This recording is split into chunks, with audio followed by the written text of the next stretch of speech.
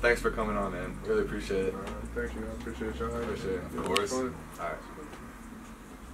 And And we're live.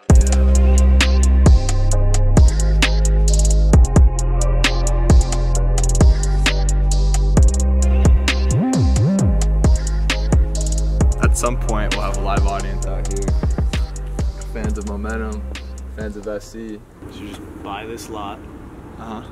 clean it up. We'll park the trucks on there so we can build out the studio proper, and then we'll have a little area for live shows. You have to go anywhere. Let's call him up, Danny Navarro. Hey, Danny, look, we're Danny, building what's something good? here. Be a nice little investment, huh? Hey, that's what I'm saying. I'll take out a loan. You're taking the loan out, bro. you gotta bet on yourself, right?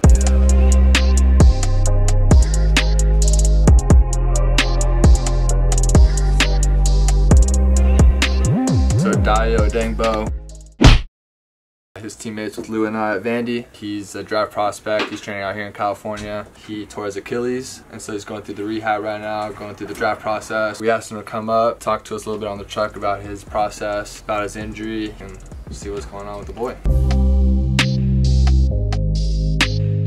So,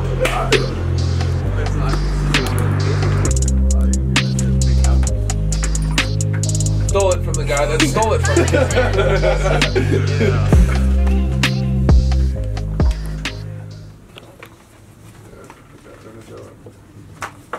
talk into the mic. Yeah, why are you talking so so soft?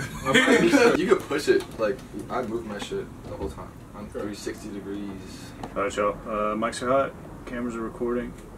And we're live. And we're live. Oh, just like that. Yeah. I always see guys get you know these these incredible gains once they reach the pro day facilities, and I'm always wondering why. Is it the recovery methods? Is it?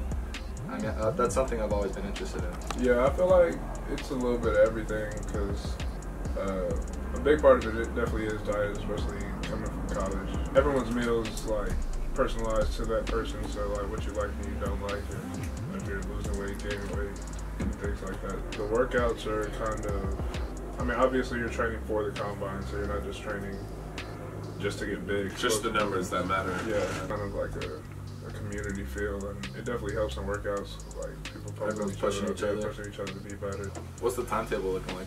Uh, hopefully, like five more months from now, or a little under five months from now. To be at 100. percent Yeah, Okay. there's really no point of just sitting around and uh, Sulking. yeah, sulking on it. So just getting back to work and trying Just to is what it is. another way. Yeah.